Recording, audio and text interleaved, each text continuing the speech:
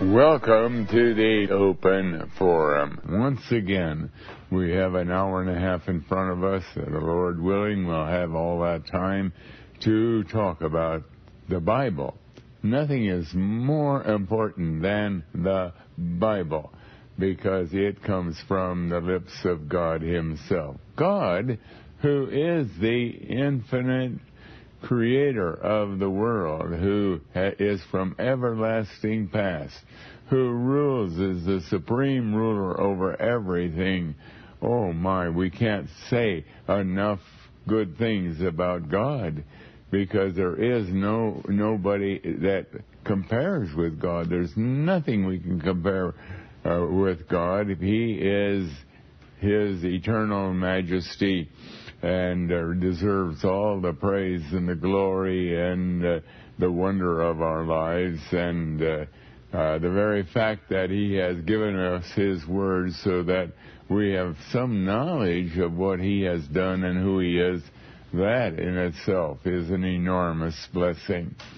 But this is your program. Now we want to take our first call on our telephone lines. Welcome to open forum Hi, Brother Kevin. Thank you for taking my call. Yes.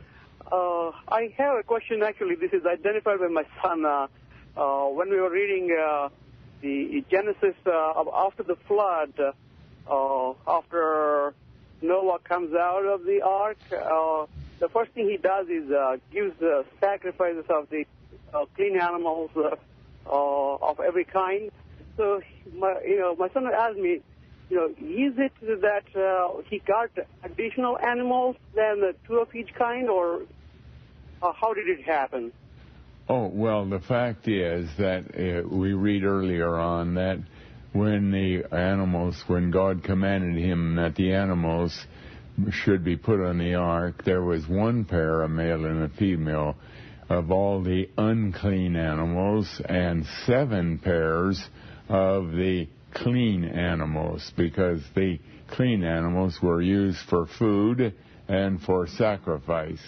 So there were actually 14 uh, uh, uh, beef cattle and 14 lambs and 14 goats and 14 uh, of the of the various uh, the the few clean animals that did exist, and that was that meant that when the ark uh, when he went out of the ark, he had animals to sacrifice. But thank you for calling and sharing. And uh, shall we take our next call? Please welcome to Open Forum. Hey, Brother Camping. Yes. I have a question. Um, did Noah, Moses, and the people then um, aware of how old they were each year as they lived out their lives, or did God just record their ages in the Bible just to establish the timeline of? Oh well, those people knew a passage of time. They they were intelligent people, just like people today are intelligent. There's uh, quite a few intelligent people in the world today, and uh, they uh, they would have uh, God told Noah, you have 120 years in, in order to build the ark. And so they kept track of the passage of time just as we do today. But thank you for calling and sharing. And uh, shall we take our next call, please? Welcome to Open Forum. Hello, Mr. Camping. Yes. I have one question, and it deals with uh, the fact that when when we are saved or not saved? Yes, what is your question? When you said that the, when when we die, if we're not saved, we are dead. I understand that. When you said that when we when we are saved and, and if we go to heaven, okay, and be with God for the new new heaven and new earth, that we will not remember and it will not be brought to mind our former life. So what is the difference of whether we live or whether we die? I know you tried to answer this once before, but I'm depressed about this issue.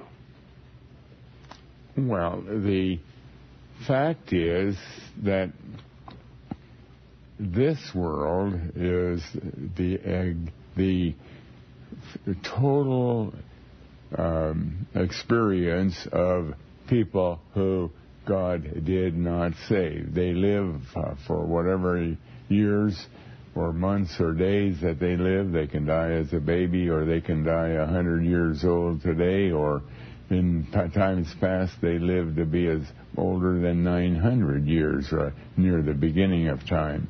And uh, this was their total experience and then they died and uh, if they were not saved and uh, and that was the end of them. They never, never came to conscious existence again.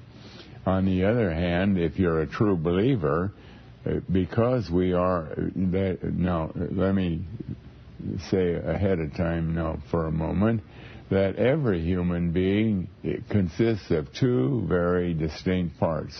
We have a body like a body of an animal, and we have the breath of life.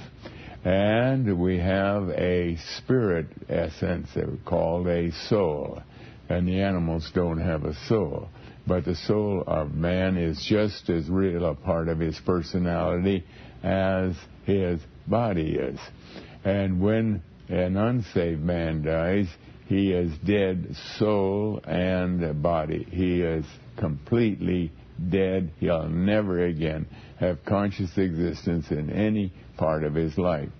But on the other hand, when a person becomes a child of God, and there's no change in his body uh, that will continue to lust after sin as he had been doing in soul and body before God saved him.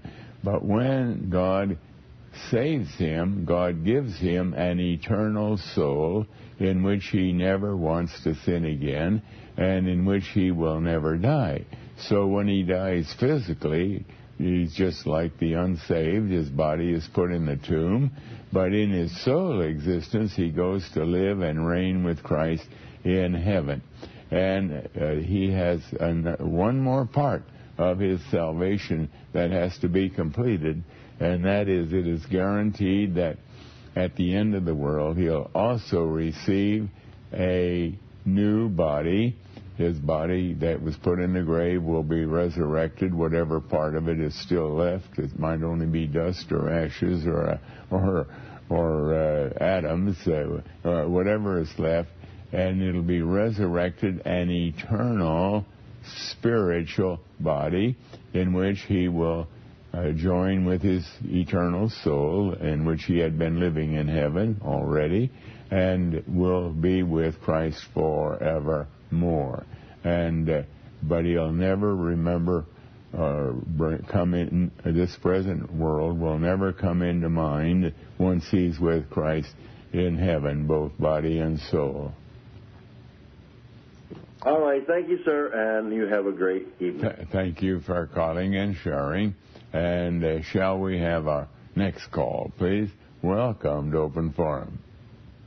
Yeah, hello, um, Harold.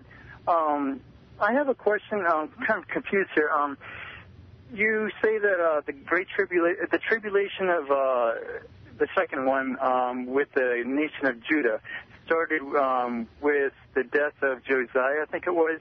Um, now, in the book of Jeremiah, it says something about, uh, I believe it's uh, the chapter 29, I think it is, where it says, I'm in my car right now, so I can't look it up. Um, it says something about the 13th year of Josiah until now, um, and it says about the, it's the 23rd year. So does the, does the tribulation start on his well, death or the 13th of his, of his Josiah, year? Josiah was eight years old when he began to reign, and he reigned for 23 years. He was 31 years. No, let me see. He no, he reigned for 31 years, and he was 39 years old when he died.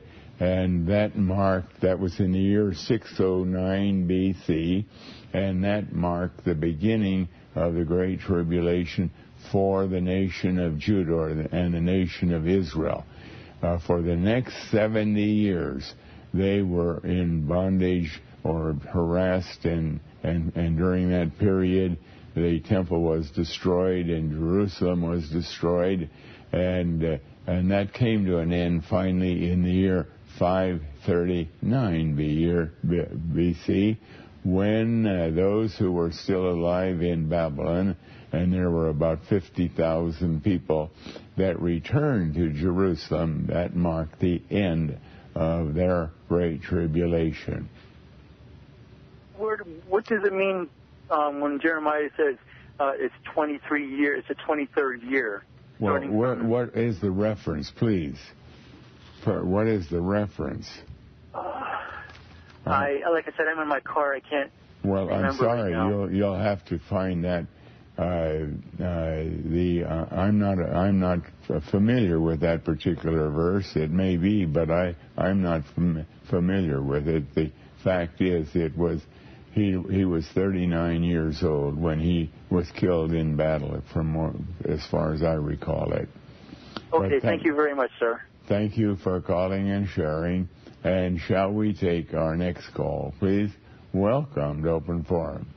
Yes, Brother Camping, good evening. Yes. I'm calling because I was once a member of the Mormon church, and as far as I was told, I think the Book of Mormon was the accounts of Christ traveled uh, in the Americas while he was here on earth. To your to your knowledge, did Christ ever come to the Americas? Absolutely not. The Book of Mormon was written by Joseph Smith. It has nothing to do with, with being the Word of God. It is has no truth in it if, if whatever it has to say about the historical record of anything connected with what is being taught in the Bible. It is uh, it is uh, uh, Christ. There's there's not there's just not a figment of truth in all of that. Oh, okay. My other question is, uh, according to what you say about the last day, the uh, October 21, 2011, what will happen to Satan? Oh, he's when... going to be destroyed, annihilated, right along with all those who would still be alive who are unsaved.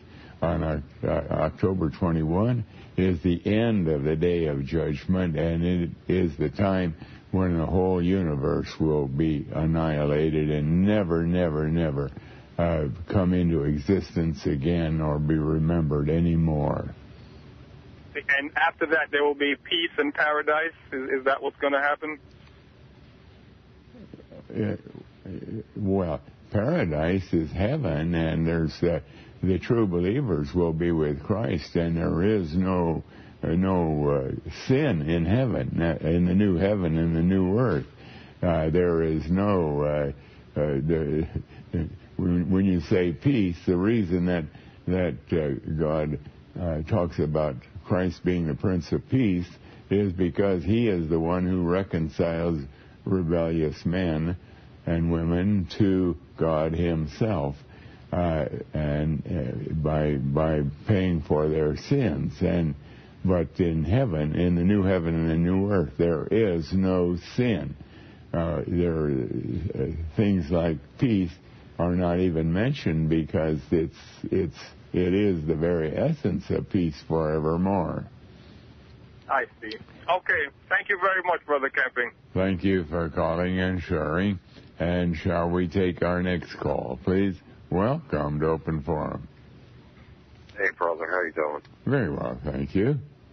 Good. Um, thank you for that last call. I'm glad to hear you put that out there about the Mormons because that's absolute truth.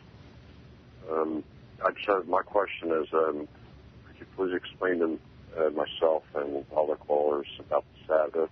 I, am sorry. Could you uh, could you speak up a little bit more? Can I explain about the Sabbath? Yes. Uh, the, I'm I'm uh, stuck on Saturday and uh, as being the seventh day. And uh, well, and you I see, uh, in the Old Testament, the Sabbath that was observed, uh, the Sunday Sabbath, they didn't know anything about that. God didn't talk about that. But the seventh day Sabbath, uh, that was a ceremonial law that on Saturday they were uh, and actually it went from sundown on Friday until sundown on Saturday. Uh, they were not to do any work of any kind.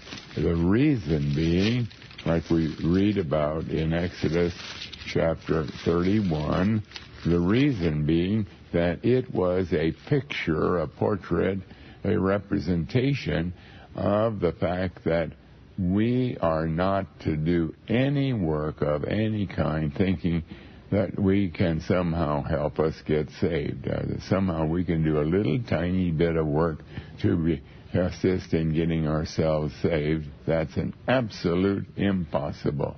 And so God declared in Exodus chapter 31, where he says in verse 13, Speak thou also unto the children of Israel, saying, Verily my Sabbath ye shall keep. Those are the seventh day Sabbaths.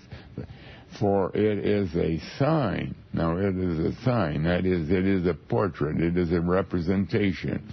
It is a, a pointing to something. It is a sign between me and you throughout your generations that ye may know that I am Jehovah that doth sanctify you. And to be for him to sanctify us means to save us. And it's, in other words, it's a sign uh, indicating now don't think for a moment that anything you can do can help you become saved. It is all the work of salvation is done by God. As a matter of fact, it is so serious. He goes on, God goes on in verse 14 of Exodus 31, Ye shall keep the Sabbath therefore, for it is holy unto you. Every one that defileth it shall surely be put to death. For all whosoever doeth any work thereon, that soul shall be cut off from among his people. Six days may work be done, but in the seventh it is the Sabbath of rest, holy to Jehovah. Whosoever does any work on that Sabbath day, he shall surely be put to death. You notice how God is driving home the point. This is not an incidental small matter. This is deadly serious. And when we go back to uh, Numbers chapter 15, we read there about a man who picked up a few sticks on the seventh day Sabbath. And when Moses asked God, What shall we do to this individual? God said, Stone him to death. He is to die. And they stoned him to death because he is a picture of someone who says, who believes, well, you know, the reason I am saved is because I believed on Christ. That's a work. That's like working on the seventh day Sabbath. The reason I, that what has helped me become saved is when I was baptized in water. That's a work that we do. And such a person is guaranteed that he is not saved. I am saved because, you know, I made confession of faith. Uh, and, uh, and again, it, uh, it is, uh, or I repented of my sins, or I did this, or I did that, that all helped me become saved. And in every case, uh, those kind of people are guaranteed to end up at the judgment throne because they have violated what God is teaching here in this in the in the uh, setting of the seventh day Sabbath. But thank you for calling and sharing. And uh, shall we take our next call, please? Welcome to Open Forum. Oh, yes, Dr. Camping. Yes, go ahead with your call. Uh, yes, I'd like for you to. I better turn down my radio. Pardon me for a minute. I'm sorry. Would you re- What is your question? Oh, you're turning down your radio? Yes. Pardon uh, me for now, a moment. what is your question? My question is. Um, my question isn't a question. I'd like you to read Deuteronomy 32, um, chapter 32, 35 through 37. Deuteronomy chapter 32, verse 35 to 37. There like- we read, I'd like you to explain it um, thoroughly, and I'll hang up um, right now. Thank you. yes, till we, uh, to me belong the vengeance, God is saying, and recompense. Their foot shall slide in due time. Let me pick up the context here. Um, uh, he's talking here about the unsaved. He's saying in verse 32, their vine is of the vine of Sodom, and the fields of Gomorrah, their grapes are grapes of gall, their clusters are bitter, their wine is the poison of dragons, and the cruel venom of asps. Is not this laid up in store with me and sealed up among my treasures? To me belongeth vengeance. Now he's been talking about those who are in rebellion against him, those who are unsaved. And I and God is saying that he has the right uh, to uh, bring punishment, uh, and their foot shall slide in due time, for the day of their calamity is at hand. That's a figure of speech that they can't stand because they are in rebellion against God and will come under judgment. And the things that shall come upon them make haste, for Jehovah shall judge his people and repent himself for his servants when he seeth that their power is gone and there is none shut up or left. Now, actually, the judgment process uh, we have to know from the rest of the Bible. We can't tell it from these verses at all. But the judgment process is that the moment a person breaks the law of God, that is, he commits a sin, the wages of sin is death. He breaks the law of God, and the law immediately uh, is acting as the judge. It finds that person guilty and pronounces sentence against that person. You're going to die for this sin. And that's what a judge does. And so this, uh, uh, when it says here, the Lord shall judge his people, that is going on from the moment that that person is born, and every time there is a sin, and in the life of an unsaved person, there's an enormous amount of sins that, uh, so that he is constantly under the judgment of God. On the other hand, if you're a child of God and you sin, uh, then that sin has already been paid for by Christ, and so uh, you're not threatened by the wrath of God any longer uh, uh because Christ has already made that payment. And so uh, that, and then this passage ends. Um, uh, and he shall say, Where are their gods, their rock in whom they trusted? Uh, who's going to protect them? Who's going to make payment for their sins? There is nobody, and so they are they are uh, uh they are under the for certain under the wrath of God. Now the phrase "there is none shut up or left," I. Um, uh, uh, I, I, believe that this has to do with, in another passage, it, it, it is the same kind of language is translated. There is no helper. They have no one to assist them. There's no one uh, that uh, is left uh, that can help them in in their terrible predicament of being under the wrath of God. But thank you for calling and sharing. And uh, shall we take our next call, please? Welcome to Open Forum. Yes, um, I had a question. I was wondering when you were talking about like the end of days that we're in now, that Satan is ruling the churches. Yes. So if you go to church and like if you're going there for the social or things like that, or if you're tithing, you're saying you're like tithing to Satan. Oh, well, yes, you are. You are. He is the ruler, and you are really uh, worshiping Him. Oh, you're you're convinced you're worshiping God because uh, worshiping Christ because He is the great deceiver. He's the father of lies, and He has deceived you. But if you read Second uh, Corinthians chapter 11, God gives a description of that where He says Satan will uh, is is like an angel of light, and his ministers like ministers of uh, righteousness, And they are, that's the character of the churches in our day. But Good work, like they hand out food and stuff, even to volunteer, that would be wrong? Or are you saying just to go there to um, worship?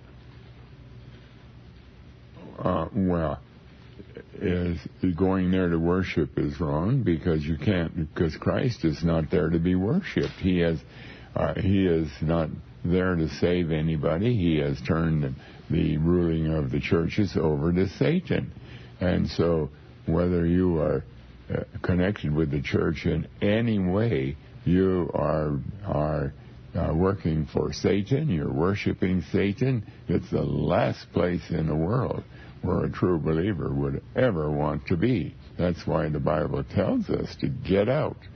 Get out when you see the abomination of desolation in the holy place, and that's the churches are called the holy place because uh, that's where the Bible has been for 1955 years of the duration of the church age.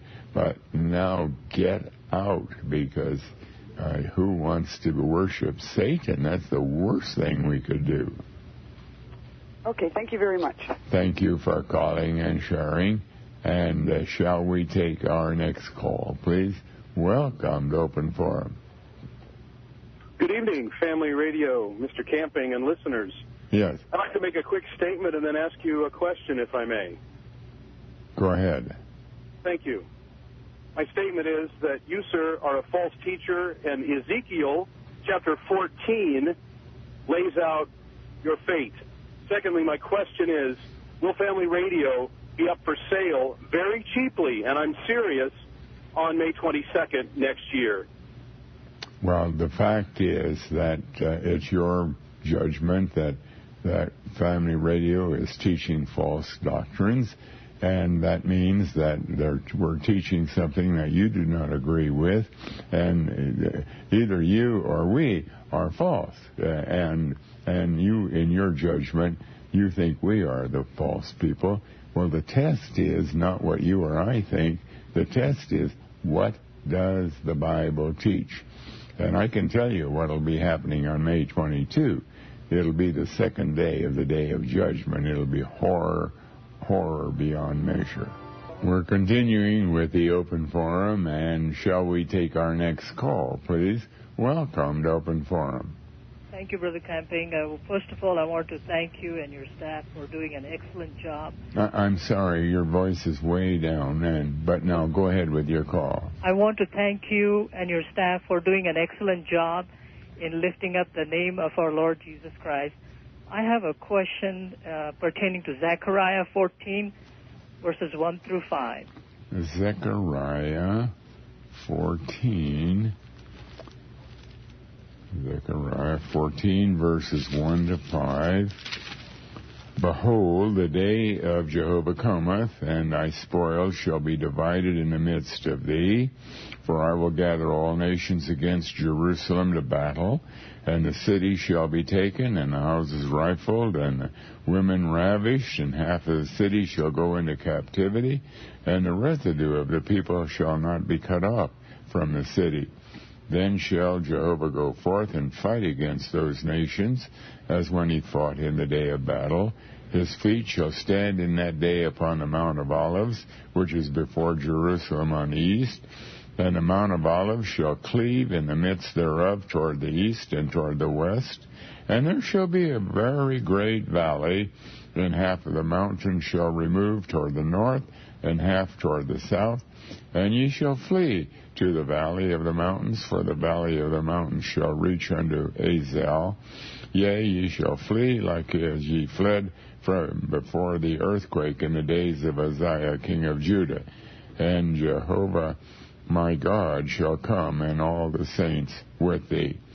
Now, these, this is a, a very, very difficult passage, but it is talking about Judgment Day and just what happens just before Judgment Day. Notice that the focus is on division, division, division. The uh, well, first of all, it talks about the day of Jehovah, and that's that is Judgment Day that God has in view and all that happens just before and just uh, uh, when the day of judgment does occur, and uh, and it I will gather all nations against Jerusalem to battle. It uh, first of all the uh, Satan has uh, is installed in the in the churches. Uh, during that, that, great tribulation period that is just in front of the day of judgment. And he is, of course, the antagonist against the true gospel altogether, uh, typified by the word Jerusalem here, uh, which is another uh, name for ex- externally representing the kingdom of God. And Satan is out to destroy if he possibly can. But then notice the division. The, the uh, half of the city shall go forth into captivity, and the residue of the people shall not be cut off from the city. Then, uh, and uh, his feet will stand upon the Mount of Olives before Jerusalem on the east, and the Mount of Olives shall cleave in the midst thereof toward the east and toward the west, and there shall be a great valley. And uh, half of the mountain shall remove toward the north, and half toward the south. You see, it's during the Great Tribulation when judgment does begin. It begins uh, upon all the churches and the nation of Israel that uh, that uh, has come back into existence at, right at our time, and uh, and uh, there is a a a, uh, a, a dividing of the true believers from anyone who claims to be a believer. Uh, the number of true believers is very, very tiny by this time in the churches, and maybe none in the maybe very, very tiny in the nation of Israel. But that they there will be that division, and the true believers will be uh, taken out of the churches and out of the out of any contact with the uh, the religion of the Jewish people, and and the, the only everybody else is left because they are there waiting for judgment. And this is really and it when when it says here that Christ will come and stand on the Mount of Olives, that's a figure of speech that he's come to bring judgment. He is the ruler to bring judgment has to be done by the one who is the ruler. And uh, and so this is uh, Zechariah 14 is introducing us again in very difficult language to the very period of life, a time which we are in right now. We're within a year of the uh, the end of the day of, of the of the great tribulation. We're only a year and a week away from the ju- day of judgment. And so, what's talking about here in Zechariah 14 uh, is spiritually going uh, going on right now. Thank you, Brother Camping. Uh, may I ask another question, please? Yes. Okay, let's go to jo- uh, Jonah chapter 3, verse 7. Jonah chapter 3, verse 7. Let's look at that. Jonah chapter 3, verse 7. Uh, and he caused it to be proclaimed and published throughout Nineveh. This is the king. When Jonah came there and began to preach that in 40 days God was going to destroy the city of Nineveh, that wicked Assyrian city, and uh, and the king uh, took it very seriously, and he sat in sackcloth and ashes, and also commanded everybody in the nation to sit in sackcloth and ashes. He published throughout Nineveh by the decree of the king and his nobles, saying, Let neither man nor beast, herd nor flock taste anything, let them not feed nor drink water. Now, when he talks about beast, uh, he's not talking about a a uh, cow or a a, uh, a dog or a cat or something like that. This is a figure that God is using uh, that the believers are typified by lambs and goats and cattle, and and uh, uh, God is uh, uh, complicating the language here, but the fact is that everybody every human being in the city of Nineveh was sitting in sackcloth and ashes. Some remember in John 10, Christ says that I am the good shepherd and you are my sheep and the sheep follow me. And that's the idea of the word beast here. I would like to compare that to two other passages. One is Proverbs 9, verse 17 and 18. Well, thank you for calling. Oh, pro, or you have one more Proverbs 9, verse like 17. Yeah, Proverbs 9. All right, we'll look at that a moment. Proverbs 9, verse 17 and 18. There we read, Stolen waters are sweet, and bread eaten in secret is pleasant, but he knoweth not that the dead are there and that her guests are in the depths of hell. That is, they are faced, uh, hell has to do with the grave. They are facing gra- the grave. Uh, and uh, stolen waters are sweet, and bread eaten in secret is pleasant. That is, those, this is talking about sin. Sin. People don't sin because it's a horrible experience they sin because I like that. This uh, pleases me, and uh, and uh, the more they get accustomed to sin, uh, certain sins, there are sins that are very distressing. But on the other hand, there are many sins that are very pleasant to the unsaved, and uh, and yet they are uh, indicating by their enjoyment of that sin that they're on their way to eternal death, to be dead, be dead forevermore. Uh, that's why it talks about they're already in the depths of hell. But thank you for calling and sharing. And shall we take our next call, please? Welcome to Open Forum. Um, yes, Mr. Camping. Can you go to Luke 18? Um, 41, 42. Luke 18, verse 41 and 42. There we read. Uh, uh, let's let's start with verse 40. And Jesus stood and commanded him. Uh, okay, we got to back up a little more. Uh, we read um, about uh, a blind man. And in verse 38, when he heard that Christ, Jesus was passing by, he cried out, saying, Jesus, son of David, have mercy on me. And they which went before rebuked him, that he should hold his peace. But he cried so much the more, Son of David, have mercy on me. And Jesus stood and commanded him to be brought to him. And when he was come near, he asked him, saying, What wilt thou that I do unto thee? And he said, Lord, that I may receive my sight. And Jesus said unto him, Receive thy sight. Thy faith hath saved thee. Okay, now the question is, whose, what does that mean? Thy faith hath saved thee. We know that it's not the man's faith, because faith can't save anybody. That's a work that we do. But whose faith is it that saves us? It is Christ.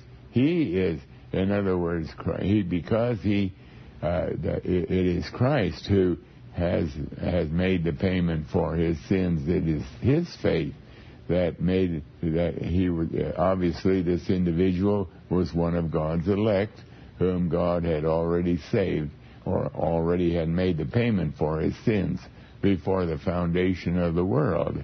And now it's, it is typified by him receiving his physical sight, but probably at the same time he was also given his eternal soul in which he would never want to sin again.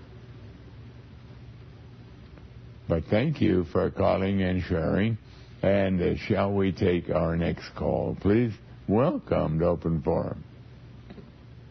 Hello? Yes, welcome to Open Forum. Hi, uh, Mr. Camping. I have a, uh, a question about May 21st, 2011, and then I have a um, a, a, a comment about the Bible that you study out of. My my comment is May 21st comes. Um, shouldn't shouldn't you be um, letting the whole world know as far as what's going to happen the day before, so that you have airplanes, you have families traveling cross country. I, e- excuse me, you're asking me to do something that the Bible doesn't give us any information about, except the Bible says, occupy until I come. Uh-huh. And uh, therefore, that word occupy till I come has to do with getting on with the business of warning the world uh, uh, about the impending judgment day and telling the world the glad news that that uh, until Christ comes, there is the possibility of salvation. And so, as far as I'm concerned, that's what's going to go on in family radio right up until the last moment. We're going we're taking that verse very very seriously.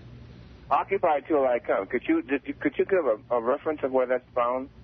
Uh, occupy till I come? Yes, sir. Yeah, it's in the Gospel of Luke, but I don't remember the verse. I'm sorry. I, uh, uh, someone will be calling, uh, believe, I'm sure, and give us the verse where it is found. Okay, we'll look that up. One other thing I had, I've been listening to you for years now, and I, I, I love family radio. I love the the the the, the morning Saturday morning Christian. I love the doctors to come on and talk about the, the diabetes. I mean, it's just the, the music, everything is just so spiritually um, well put together. Um, but one thing I find that a lot of people who are, who are trying to follow you, uh, when you um, you go and you you try to you quote you read scripture and then you interpret scripture, but we try to follow you in our own Bibles here at home. Okay, maybe you might want to suggest the Bible that you use so that we can follow you. For instance, I'm I'm I'm, I'm looking at my I, okay, I, I read out of I, I understand your problem. I understand your problem. Now, one thing I do, and it's not, it is whenever I see the word Lord in the Old Testament with all four letters capitalized, I know that that in the Hebrew that uh, we should pronounce that either Yahweh or Jehovah. Uh, it is not Lord. Uh, that has been placed there because the translators uh, are following what the Jews have always done. They didn't want to use the holy name of God, and so they, whenever they saw the name Jehovah, they said the word Lord. And uh, and our King James Bible, in fact, every Bible or almost every Bible that you can that you can find, you'll find that the that it says Lord with all four letters capitalized, and yet I always read it Jehovah, and so that uh, I I admit that that makes it a little bit uh, sound like I'm reading from a different Bible. I'm really not at all. I'm reading from the King James Bible, just substituting uh, the word Lord for Jehovah, and. Uh, uh, once in a great while I'll get tempted and I'll see a passage where the translation is wrong and I will read it uh, uh, the way the way it ought to be corrected and I shouldn't do that without warning our listeners because it's not fair to them uh, that it sounds like I'm reading from another Bible. I'm not. I'm reading from the King James Bible. And thank you for uh, offering that uh, question or that suggestion or that uh, or, uh, that uh, problem. And now, shall we go to our next call, please? Welcome to Open Forum. Hi, Brother Camping. I wonder if you would explain Revelation 20:10, please. Share- in Revelation 20, verse 10. Let's look at that. In Revelation 20, verse 10, we read, And the devil that deceived them was cast into the lake of fire and brimstone, where the beast and the false prophet are, and shall be tormented day and night, not forever and ever. The context will not permit that. Uh, it's a preposition that's translated for in our King James Bible, but it should have been translated to ever and ever. Uh, so that it's saying, and shall be tormented day and night too, ever and ever. Now, the during the day, the day of judgment, which is a we know from Revelation nine is a is a five months period, actually 153 days from May 21 till October 21. During that period, uh, Satan, and it talks here about the the beast and the false prophet that ties back into Revelation 13, where Satan is first presented as a beast that comes out of the sea, and then he's presented as a as a false prophet that comes out of the earth, but it's still Satan. It is still Satan.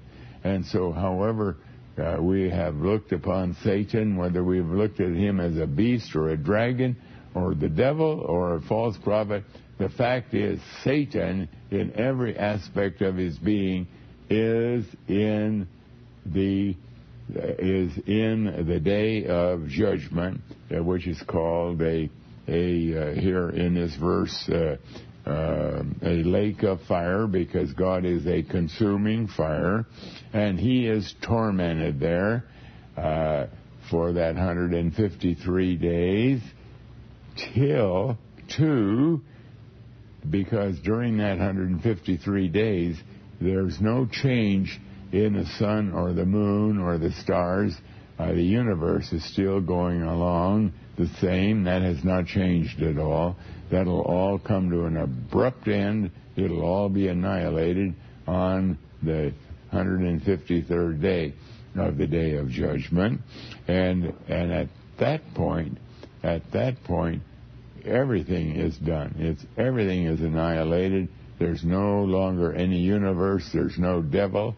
There's no unsaved. There's no. There's nothing. It's all gone, and nothing will ever, ever be come into remembrance again. It has. It has all been annihilated. Thank you. Thank you for calling and sharing. And uh, shall we take our next call, please? Welcome to Open Forum. Good evening, Brother Kent. Yeah. Um, I, I, would just like to say to all the listeners out there that it, it, they would uh, serve it best if they uh, read their Bible very carefully and pray earnestly with a contrite heart that they may, uh, the Holy Spirit may re- reveal to them what God is saying through His Word. Now, I've been listening to you since 92, and the Holy Spirit had, through the God's Word, had taught me things that I thought that I arrived on my own.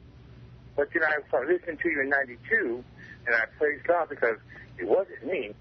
It was the Holy Spirit that told me everything. Well, excuse I, me, excuse me. What is your question? Are, well, uh, it, it, the question is just that I was glad that I wasn't the only one who was reading the Bible and, and coming up with these things that the churches were not teaching.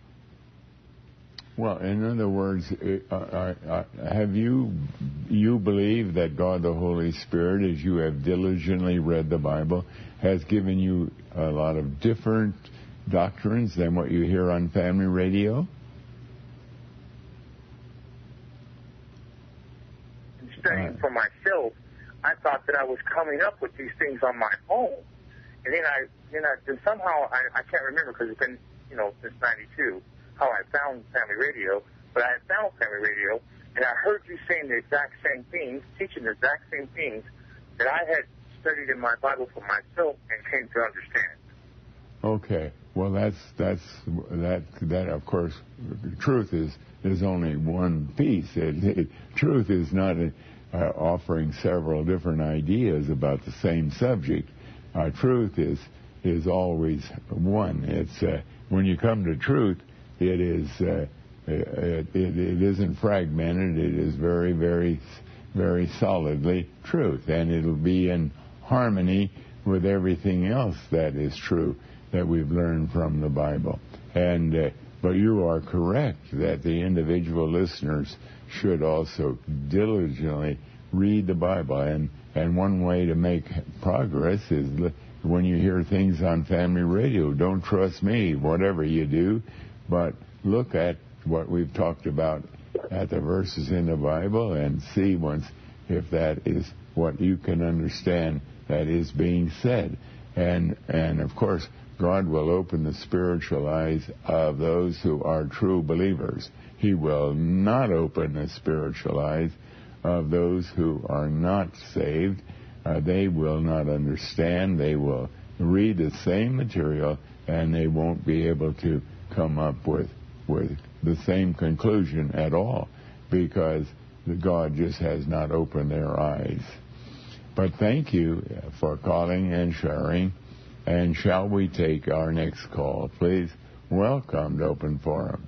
Good evening, Brother Camping. Uh, would you kindly clarify a couple things for me, please? Yes, what verse is it? Um, well, uh, the uh, first question, you know the verse. It's it's about Elohim um, created Adam in their image and likeness, holy and perfect. But Adam disobeyed God, falling into sin. Aren't all of his progeny, including us, created in his fallen image and likeness?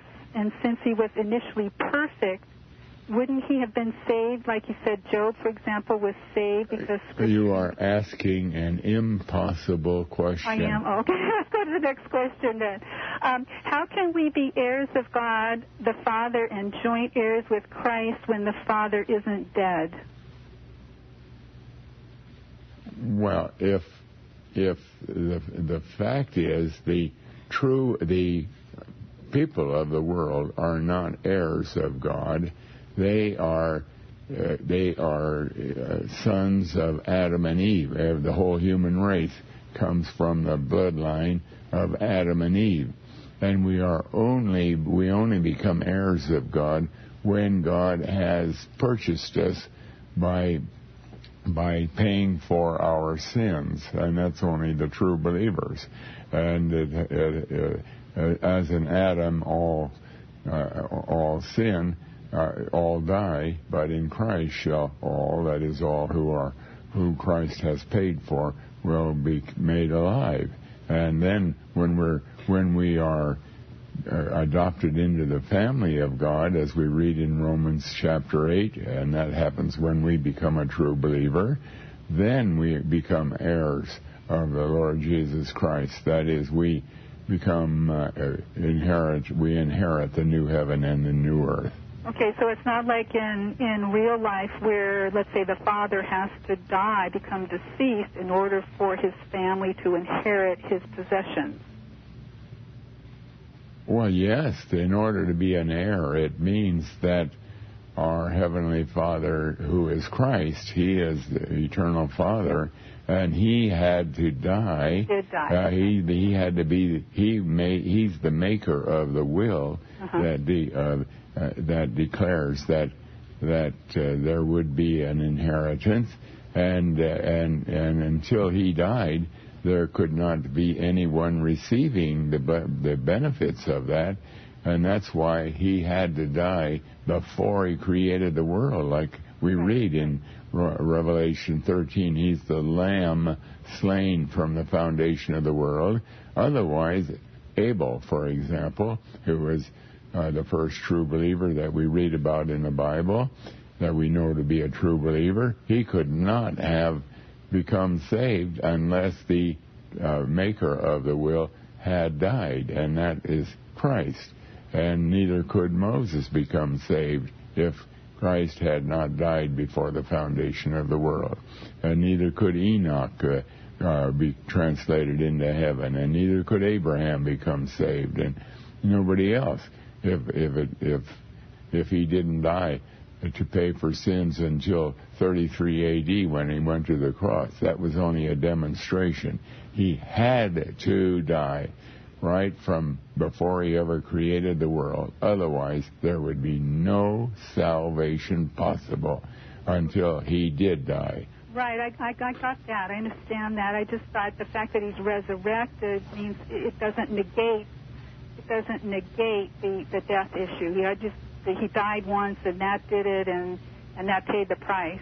Okay, um, I just have a couple scriptures. Would you please read Isaiah 48:12? What is your question now? Isaiah 48:12. 12. Let's let take a look at that. Isaiah 48:12. Isaiah 48:12. There we read, uh, "Hearken unto me, O Jacob and Israel, my called. I am He. I am the first. I also the last." Now, what is your question? Oh, hold on. We'll take a message. We have a caller who's asked a question about or wants us to look at Isaiah 48, verse 12. Hearken to me, O Jacob and Israel, my called. I am he. I am the first. I also am the last. Now, what is your question? In reference to Matthew 20, verse 16, where it says, So the last shall be first and the first last, with regard to. Uh, excuse me, that is unrelated to this verse. Uh, yeah, that's regard to salvation. Um, I, i'm sorry. Know? Excuse me. Excuse me. In Matthew 20, verse 16, where God is saying the last shall be first, he's talking, the context shows that, and that verse is found in several places. It has to do with those who hear the gospel, uh, the, last people to hear it, and they are, right now today, about two thirds of the world uh, has never heard from the Bible at all. They are the last. Now they are hearing from the Bible, and many of them are becoming saved. Whereas there are uh, people who have been in the churches for all their life, they are the first, and uh, and yet they are not listening to the Bible at all the way they should, and they are the last. That is, they will end up at Judgment Day. Now, when God talks about He is the first and the last, He is emphasizing that He is from eternity past and goes on to eternity future. In the book of Revelation, uh, he says, I am the Alpha and the Omega, the first uh, letter of the Greek alphabet and the last letter of the Greek alphabet. Uh, again, underscoring that he is before all things and continues forever, ever in the future. And it's not related to the last shall be first and the first last. Okay, but the part I don't understand, Mr. Camping, is how do we know from Scripture that the first who now become last will be left behind on the day of the catching up? Well, excuse me, the the the uh, we learn not just because a word a word can be used in in in a number of different excuse me in a number of different situations. And just because it's the same word that doesn't mean that necessarily it is talking about the same thing at all.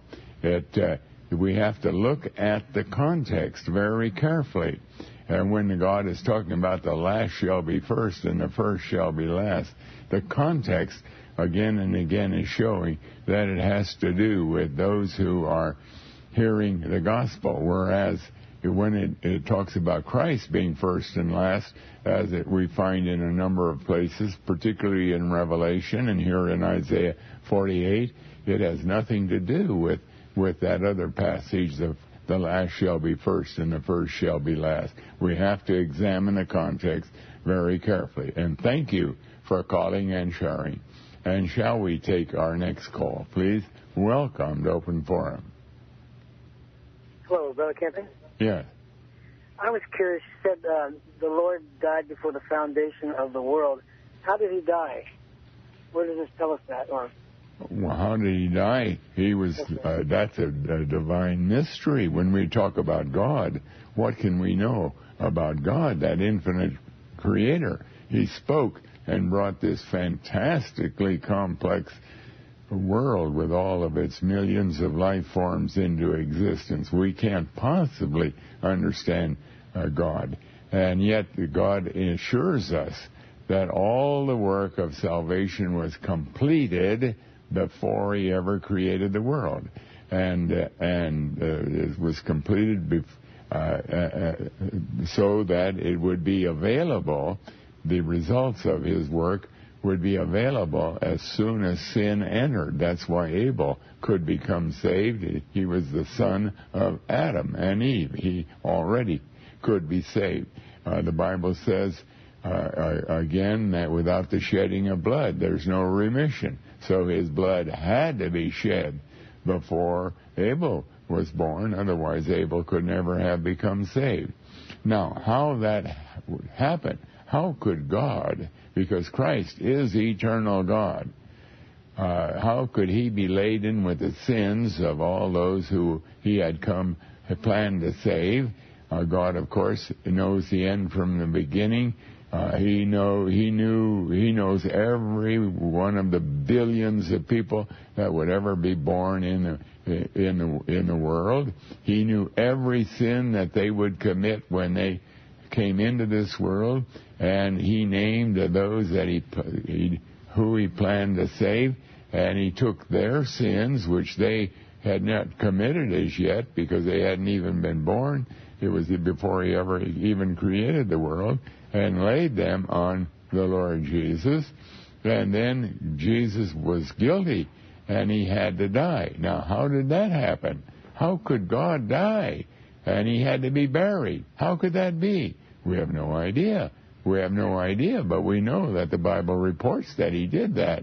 And that's because we don't, we, we just know that God is God. And and we just trust what he tells us. It's always true. And then he r- rose from the grave uh, before he ever created the world, and now he is the uh, he who made the law, uh, made the will uh, uh, that has to do with salvation, had died and rose again, uh, had died, and so therefore the will became effective, and the blood had been shed so that there could be forgiveness of sins. Everything was in order. The day that Adam and Eve sinned, it, all, all the preparation for salvation had been completely made, and, and uh, there was nothing more that had to be done except that as each individual God had chosen came to whatever age God wanted to do it, whether as a baby or as an an hour before he died or any place in between, he had to give him a new eternal soul to prepare him uh, for e- uh, living with Christ forevermore in heaven and he- new earth. And he made the commitment to that individual that on the at the end of time, May 21, 2011, he would also give that person a brand new eternal body. Well, how about um, to come out of the churches? Can you just tell me the scripture reference I can look up and understand um, that we're not supposed to be in church? Because I don't want to be there if that's not what we're supposed to do. Well, I would suggest Family Radio has written a book called The End of the Church Age and After. It's available free of charge. You don't have to pay for it. It's both postage paid, and uh, and if you call or write Family Radio, and call and ask for the book, The End of the Church Age and After, and uh, and it will be immediately sent to you. All right, sir. Thank you very much, sir. Thank you for calling and sharing. And shall we take our next call, please? Welcome to Open Forum. Oh, hi, Harold Camping. I just shut my radio.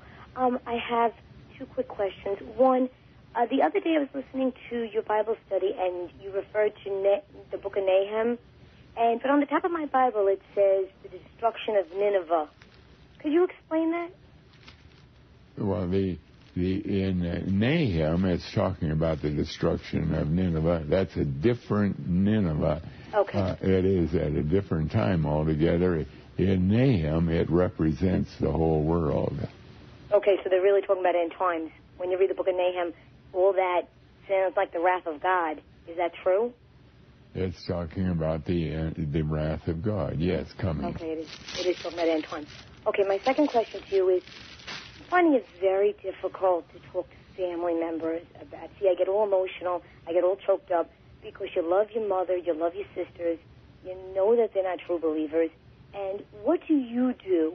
I'm asking you personally, what do you do for family members or people who are very close to you, church people who you're very close to, What the Bible, do you do? the, the Bible is very, very knowledgeable of this. This is a situation that every true believer faces. Mm-hmm. I face it, everyone faces it. We have loved ones that we dearly love, and we just weep in our souls when we realize that they don't want to talk about these things uh, because they are trusting their church or trusting uh, their pastor or whatever, and uh, and we know that they're going if they, if something doesn't happen to them, they're going to enter into the day of judgment. How horrible! But God does give us this much relief. Okay, we can't talk to them. They don't want to hear. They walk out of the room or they get angry, and so it, we we don't press them at all. But we can pray for them. God encourages us to beseech the Lord on their behalf, to beg the Lord.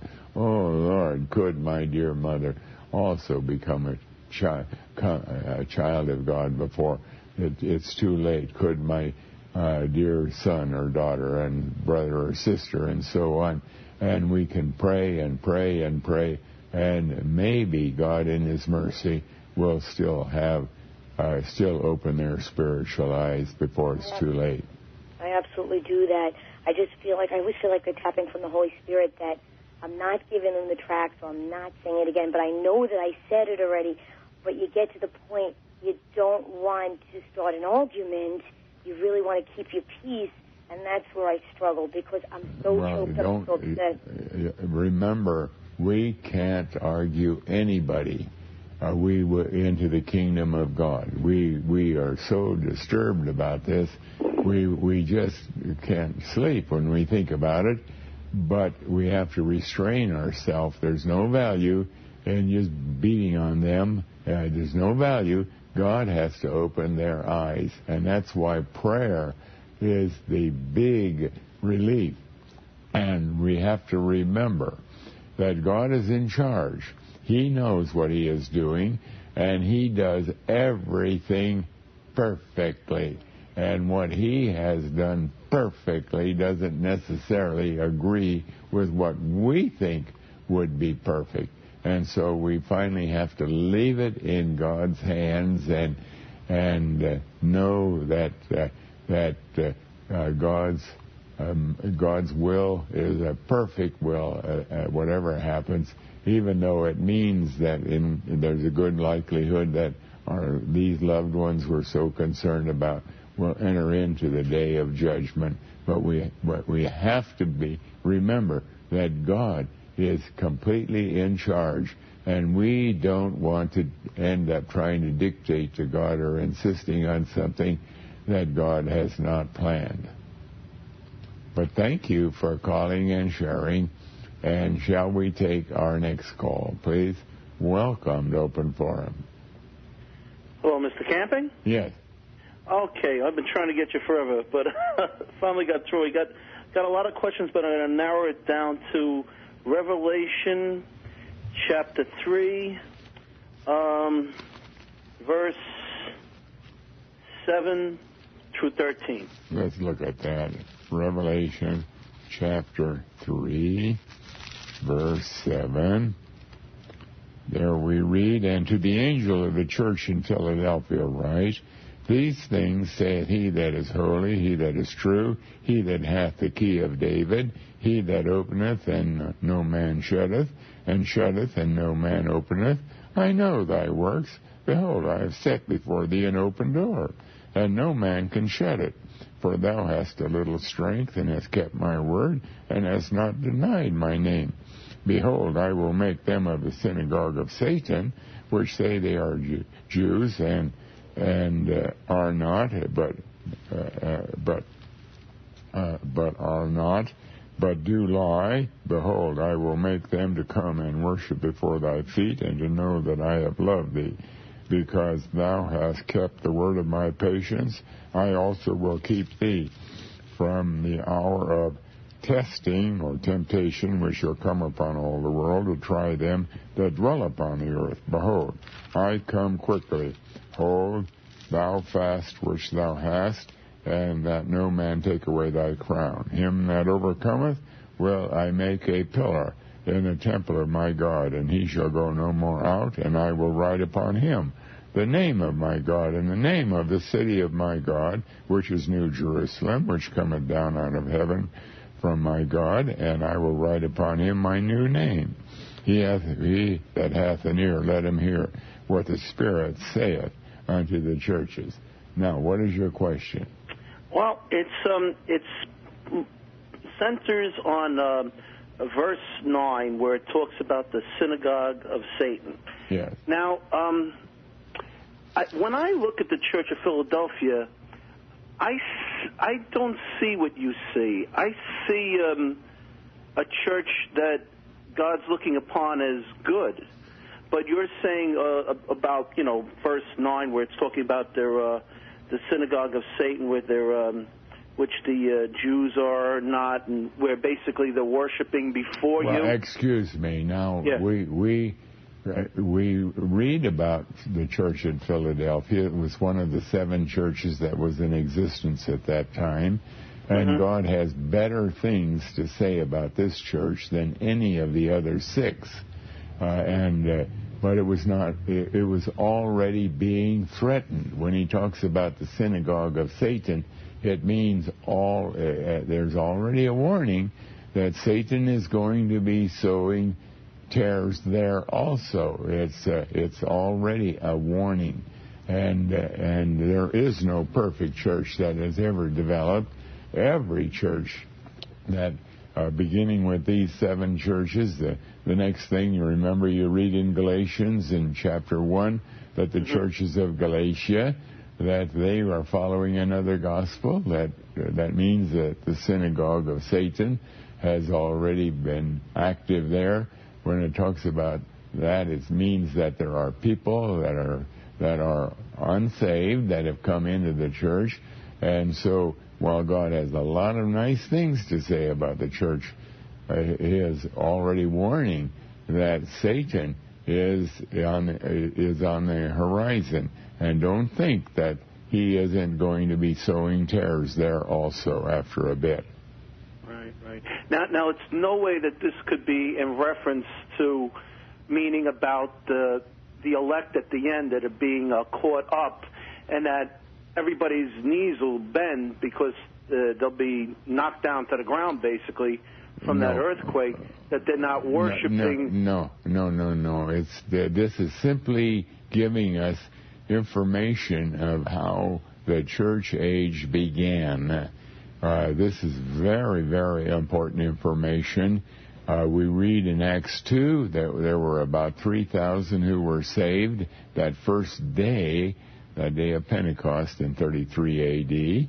We read f- a few chapters later about 5,000 who were saved. And so it looks pretty glorious, pretty glamorous. It looks like the church age is really going uh, in a wonderful way. But we have to read the whole Bible.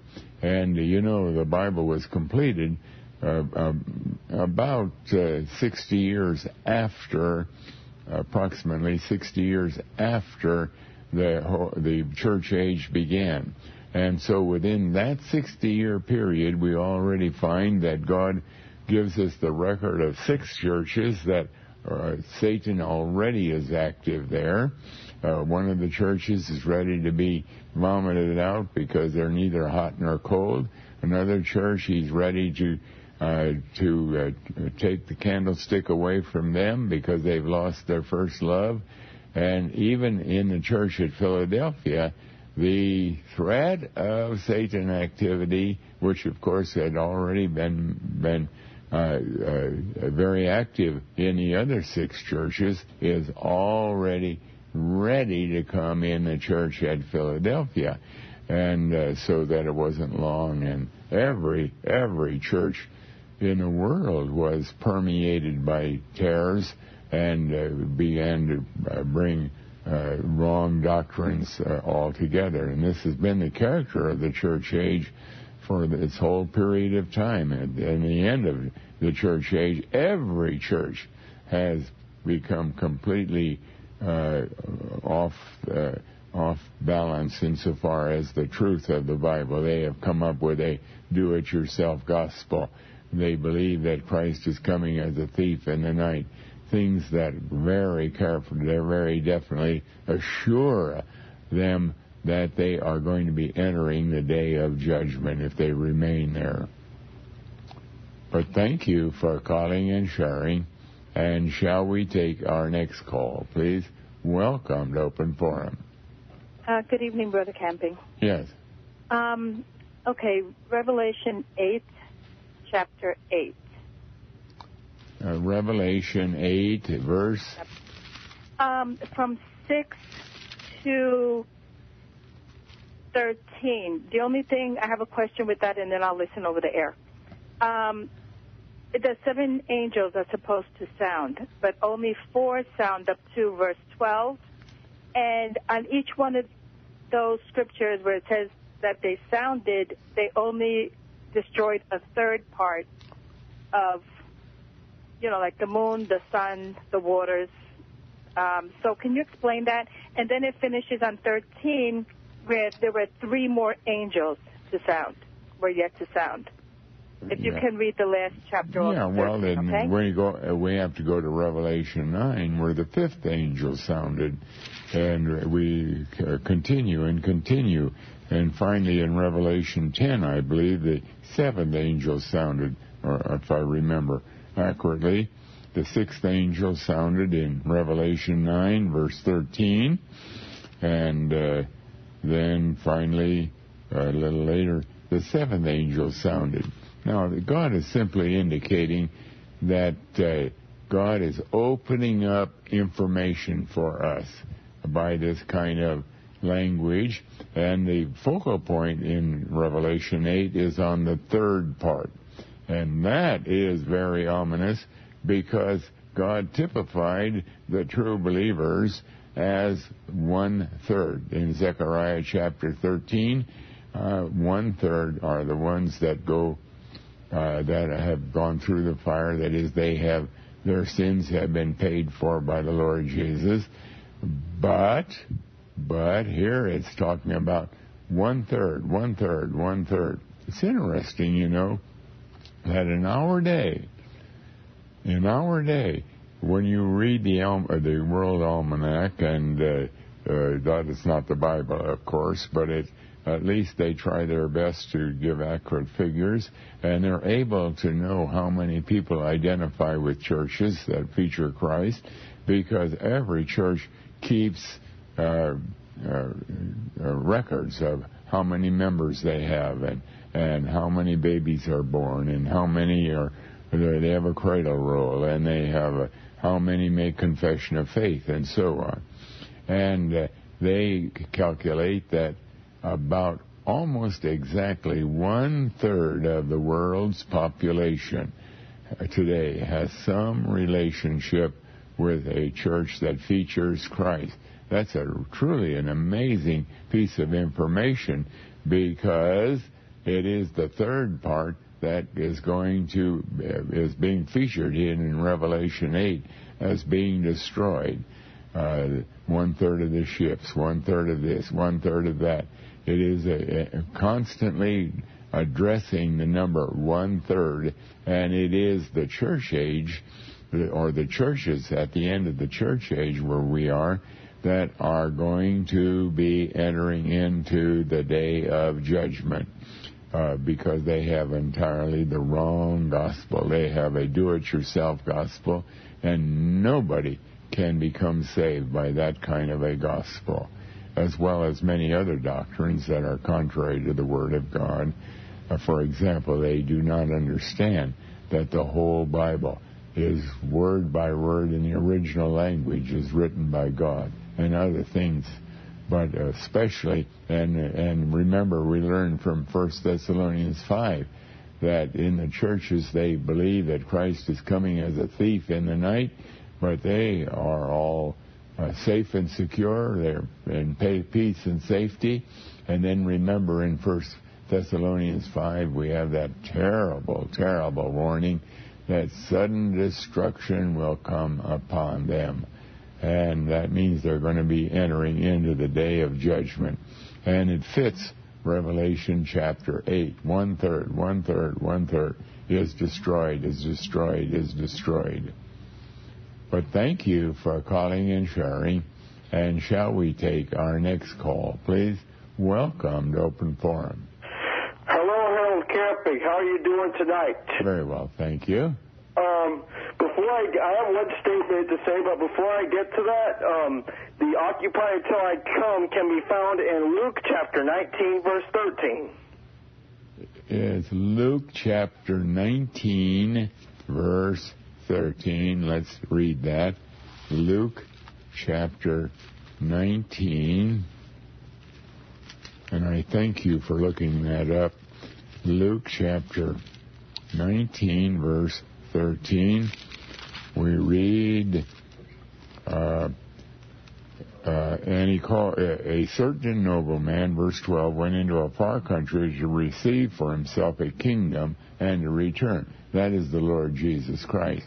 And he went into heaven, and uh, then uh, uh, and then the kingdom of God would be developed throughout the church age and all the way uh, through the end of the day of, of uh, the time of tribulation, and then he would return.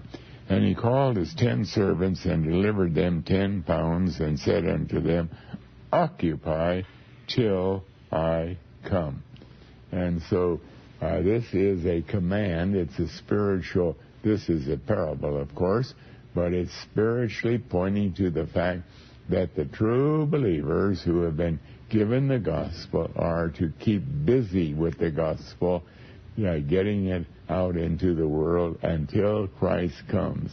And so uh, we in Family Radio are taking that very, very literally, very seriously, uh, that uh, we are to be busy uh, warning the world of Judgment Day and uh, and of the wonderful fact that until Christ comes, there is still the possibility of salvation. Maybe you still can become saved, and that will come to an end when when we see the great earthquake that in, that indicates the day of judgment has come.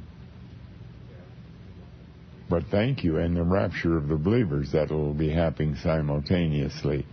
But shall we take our next call, please? Welcome to Open Forum. Welcome to Open Forum.